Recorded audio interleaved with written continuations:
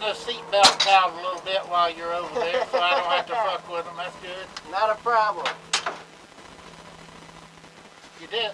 You do a nice job. I just don't want you to get too too fast and maybe spin it out because you're getting right where you can feel the right rear starting to dig in just a little. Yeah, yeah, I felt that. I did too.